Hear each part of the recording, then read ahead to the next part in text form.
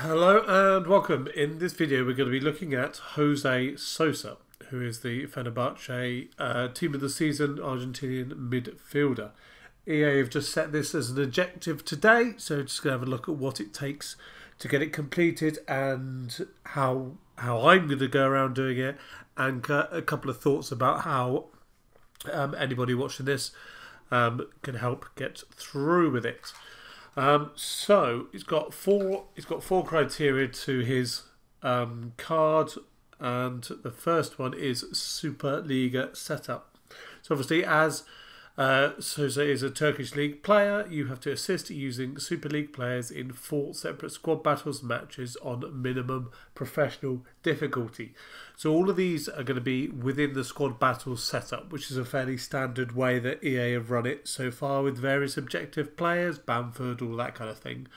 Um, so um, yeah, that's the first objective for a gold pack. You have to get four matches um, to play that one. Um, storied skills um, score in two separate squad battles matches on minimum world class difficulty using players with a minimum four star skill moves. So obviously each player's got a skill move setting, so you just have to make sure you use four or five star skill move players to score those goals. The third objective is super squad. So you have to score a finesse goal in three separate squad battles matches on minimum professional difficulty with at least five Superliga players in your starting squad. So Superliga is obviously the Turkish league, um, as is Sosa. So just have a look through your squads, see who you've got. If you have to go out and buy a couple that fit your formation, then that's what you got to do. Most people will have more random squad people lying around than they realise. Um, I had to buy one to fit my um, squad, a left back, but you'll see that in a minute. Um, and that gives a premium gold pack. And obviously, when it says at least five Super League players, five is just the minimum that you have to have. You could have a full 11 Super League players, you could not. But yeah, that's what the requirement is. And then Argentinian Architect. So you have to assist with a through ball in six squad battles matches wins on minimum professional difficulty using Argentinian players. So this has the win condition within it. So whereas the other games just had to score, just had to score, just had to assist, this one you have to win as well. So you can't just do it and then leave it kind of thing. Do this, do the aim and then leave. So um, yeah, this one brings the Electrum Players Pack, so we'll just skip through now and I'll show you what I'm going to be using. Obviously, you have to do it on professional and world class difficulty, but just to show you my squad, I'll put it up here.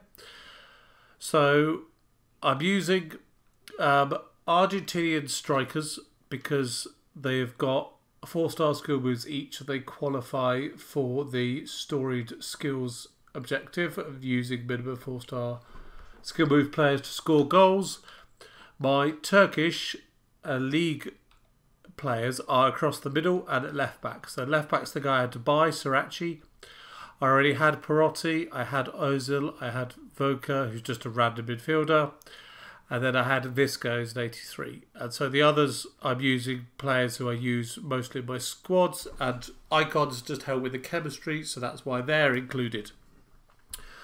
So this squad means that I have to assist using the midfielders through to Dybala and Messi, and then I have to score using uh, Dybala or Messi with a just a just a goal because they both got a bit of a four star skill boost. Then I have to get a finesse goal with them as well. So basically, a through ball from one of my midfielders to one of these two who score a finesse goals, and I'm pretty much ticking off quite a lot of the objectives all at once. So this is the way I'm kind of minimizing the amount of stuff you actually have to play to get the objectives done and to get the t- the player into your squad. So that's what I'm recommending. Um, obviously, you will have different players in your squad. You might have a Premiership backline of say Gomez, um, I don't know Laporte, um, and then Ederson in goal or something like that. You may have an icon in midfield. You may have an icon up front. You may have I don't know, a Maradona, which would help with the Argentinian element of it. But yeah, everybody will have a slightly different approach, but this is what I'm going to go with. Um, the Argentinian strikers up front are really going to help, um, and the, having a solid defence and using the icons helps the chemistry overall for the for the team.